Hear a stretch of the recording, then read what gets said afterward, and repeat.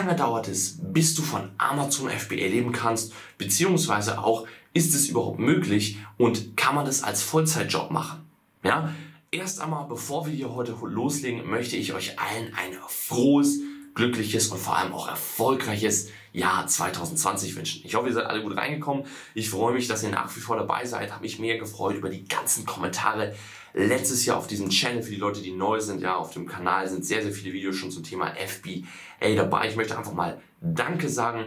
Ähm, in den nächsten Tagen erwartet euch auch eine extrem große Sache, ähm, an der ich sehr, sehr lange gearbeitet habe, in die sehr viel Zeit und Wissen reingeflossen ist, die auf, auf jeden Fall unglaublich krass dabei weiterhelfen wird, wenn ihr 2020 mit Amazon entweder anfangen wollt oder es einfach hochskalieren wollt, wenn ihr schon verkauft. Aber wir wollen heute über ein anderes Thema sprechen, und zwar darüber, wie sieht das aus mit Amazon Vollzeit, ab wann kann ich wirklich davon leben? Denn die meisten Leute sind ja einfach so aufgestellt, das war bei mir damals so, ich wollte natürlich ein Online-Business machen. Ich habe in der Zeit noch gearbeitet, 12, 13, 14 Stunden, ganz normal. Ähm, ich nenne es mal 9 to 5, auch wenn es von der Zeit her nicht gepasst hat. Aber ähm, diese, diese Standardjobs sozusagen und wollte da natürlich schnellstmöglich raus. Und ich glaube, vielen Leuten geht das auch so. Ähm, dass man einfach, das ist ja auch klar, man hat seine Träume, man hat seine Ziele, man will vielleicht mehr Urlaub machen können, man will ortsunabhängig arbeiten können, mehr Zeit für Familie etc.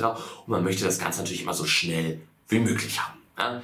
Natürlich ist nicht alles äh, wächst auf Bäumen und fällt runter und wir können es einfach aufsammeln, sondern bis wir da hinkommen, ist es ein ganzes Stück Arbeit und ähm, es ist auch natürlich ein, ein, ein, eine bestimmte Zeitperiode, die dazwischen liegen muss, einfach damit sich so ein Geschäft entwickeln kann. Also, Ganz wichtig zuerst einmal ist es zu verstehen, dass Amazon FBA ein kapitalintensives Business ist. Du verdienst im Grunde genommen hier nicht Geld, indem du Zeit investierst. Ja? Ähm, ob du für die Produktfotos jetzt 5 Stunden brauchst oder 20 Stunden brauchst, ist im Grunde genommen egal. Wichtig ist am Ende die Qualität. Ob du jetzt ähm, 50 Stunden oder 200 Stunden dein Produkt suchst, ist äh, im Grunde genommen egal. Am Ende zählt nur das Produkt selbst und letztendlich zählt am Ende, wie viel Geld du zur Verfügung hast, natürlich auch, um Produkte zu kaufen. Und natürlich dann aber auch wieder, um das Ganze hoch zu skalieren. Das heißt, dein zweites Produkt auf den Markt zu bringen, dein drittes, dein viertes, dein fünftes Produkt auf den Markt zu bringen und so dein Einkommen zu skalieren. Und das Wichtige ist hierbei, verhältnismäßig zu anderen Geschäftsmodellen, ist das natürlich am Anfang so, dass es länger braucht, bis du wirklich Geld rausziehen kannst. Ja, wenn du jetzt, sage ich mal, T-Shirts bedrucken lässt, ja, dann bist du vielleicht Gut, ich weiß nicht, wie, wie man damit wirklich Geld verdienen kann, aber sagen wir mal, man ist, ist nach sechs oder sieben Monaten bei 1000 Euro im Monat. So, diese 1000 Euro im Monat könntest du ja im Grunde genommen rausnehmen. So, das würde jetzt dein Geschäft nicht wirklich schädigen.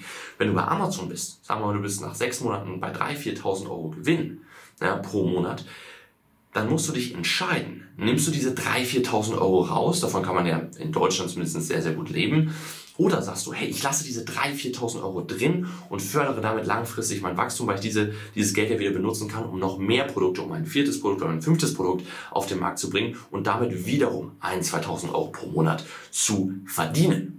Ja, und diese Entscheidung muss man treffen. Und davon hängt es letztendlich auch ab, wie schnell man wächst und wie schnell man in der Lage ist, von Amazon zu leben, beziehungsweise auch, wo man hin will. Denn das ist der entscheidende Punkt. Ja, wie schnell kann man von Amazon FBA leben? Im Grunde genommen, wenn du ein Produkt hast, was 2.000, 3.000 Euro Gewinn produziert, lass es 5.000 Euro sein, natürlich auch wie viel, mit wie viel du Startkapital anfängst. Aber dann kannst du im Grunde genommen sagen, okay, ich kann jetzt von meinem Geschäft leben. So.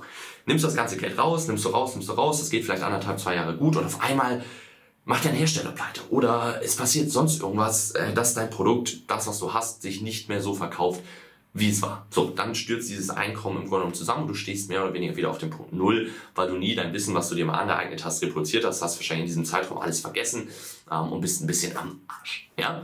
So, wie kannst du das Ganze verhindern? Du gehst hin, hast dein Produkt, machst 3.000, 4.000 Euro Gewinn, nimmst dir nichts raus. Ja, das sind lass es drei, vier Monate sein, dann hast du das Geld zusammen, um ein zweites Produkt zu machen. Ja, jetzt kommt ein zweites Produkt an den Markt. Jetzt verdienst du im Monat schon das Doppelte. Du bist jetzt schon bei 4000 Euro. Ja, du musst aber die Disziplin haben, dass du das Geld auch nicht rausnimmst. Dann sagen wir mal, sind wir bei sieben, acht Monaten angekommen. So, und jetzt hast du wieder die Summe zusammen und kannst dich wieder entscheiden dazwischen, ob du das Geld für dich haben möchtest oder ob du sagst, hey, dieses Geld investiere ich in mein drittes Produkt. Es kommt immer darauf an, wo man hin will. Ich sage immer, Amazon FBA ist ein Business, was dazu da ist, viel Geld zu verdienen, nicht um wenig zu verdienen. Entweder man verdient da gar nichts oder man verdient viel. So jemand, der 2.000, 3.000 Euro durchschnittlich im Monat verdient, macht, ist entweder am Anfang oder macht irgendwas grundlegend falsch. Ja? Denn äh, Du musst es ja einfach so vorstellen, wenn du wächst und deine Produkte immer, immer, immer mehr Produkte hast ähm, und sagen wir mal, du stehst irgendwann bei 15.000 bis 20.000, dann ja, pro Monat, dann ist die Zeit gekommen, wo du natürlich mal sagen kannst, okay, ich kann jetzt 2.000, 3.000 Euro da rausnehmen, ohne dass dein Geschäftsmodell, ohne dass dein Wachstum dadurch großartig eingeschränkt wird. Ja, und dahinter liegt meiner Meinung nach auch diese extreme Kraft bei Amazon. Du hast einfach, wenn du einmal wirklich ganz genau dieses System, diese Strategien allesamt verstanden hast, wie bringe ich mein Produkt nach oben, wie funktioniert Amazon SEO, wie funktioniert dieser Algorithmus, wie äh, finde ich wirklich extrem potenziell gute Produkte, dann kannst du hingehen, wenn du es einmal geschafft hast und dieses Wissen immer und immer wieder reproduzieren. Was aber wichtig ist, neben dem Wissen brauchst du auch das Geld. So, ohne das kannst du es einfach nicht machen. Deswegen ist meiner Meinung nach so, dass Amazon Vollzeit erst so nach ja, sechs bis minimal so zwölf Monate, ein Jahr äh, erst möglich ist.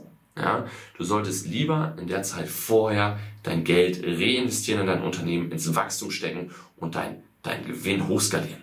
Ich sage euch ganz ehrlich, das, was hier auf euch wartet 2020 auf dem Channel, das ist nichts für Leute, die 3.000, 4.000, 5.000 Euro im Monat verdienen wollen. Die müssen den Kanal deabonnieren, die müssen weg. Ähm, mit denen will ich gar nicht mehr arbeiten, weil das Mindset so eingeschränkt ist. Ich will wirklich weiter nach oben, ich will dahin, wo die Leute sind. Ja, und da gibt es extrem viele von, die einfach Bock haben, auch wirklich Kohle zu verdienen und auch in der Lage sind, mal zu sagen, hey, ich ziehe mal ein Jahr durch, ich ziehe mal zwei Jahre durch. Ja, dass es wirklich vorangeht. Und bei mir ist das auch so. Ich habe mein erstes Jahr gar nicht einen einzigen Euro da rausgenommen. Ich habe sogar immer noch was dazu gesteckt, damit ich noch schneller wachsen kann, noch mehr Produkte habe, noch mehr Geld pro Monat verdienen kann. Und dann, ja, so Gut, es sind eher, eher gesagt so anderthalb Jahre gewesen, wo ich nichts rausgenommen habe. Und dann habe ich mal angefangen, okay, jetzt nehme ich mal 2.000, 3.000 Euro pro Monat einfach raus und investiere das aber in anderes. Ich brauche nicht so unglaublich viel Geld zum Leben, so 2000 Euro, ich bin ja größtenteils in Asien, reichen vollkommen aus, um zu leben wie Kaiser so und so. Also auch das ähm, ganz, ganz wichtig und ich hoffe, dass du mal so dadurch so einen Überblick bekommen hast, wie das sich auch zeitlich verhält, dass es eben nicht bei Amazon FBA so ist, du fängst damit an und morgen kannst du davon leben. Das ist nicht der Fall. Ja, auch wenn du viel Startkapital hast, ist das definitiv nicht der Fall. Ähm, ich würde es immer so machen, dass ich in diesem Business wirklich mein Geld so lange lagere, so lange reinvestiere, bis ich das, was ich rausnehme, keinen Einfluss mehr darauf hat, wie schnell ich wachse, beziehungsweise ich einfach so viel Geld zur Verfügung habe, dass ich gar nicht mehr weiß, okay, welche Produkte soll ich jetzt als nächstes machen oder dass die Ressourcen an Zeit dann knapp werden. Ja? Also, ich hoffe, dir hat das Video geholfen. Ich hoffe, dir hat das Video gefallen. Ich hoffe, das Video motiviert dich auch, bringt dich auch voran, weil du siehst aber, was möglich ist, wenn du das Geld reinvestierst, wenn du nicht direkt reingehst und alles rausholst. Und ähm, wenn dem so ist, wenn du Bock drauf hast, abonniere den Kanal, würde ich mich mega drüber freuen. Oder teile es, zeig es deinen Freunden, zeig deinen Freunden, hey, FBA, geiles Geschäftsmodell, extrem viel Potenzial, vielleicht findest du da sogar einen potenziellen Partner.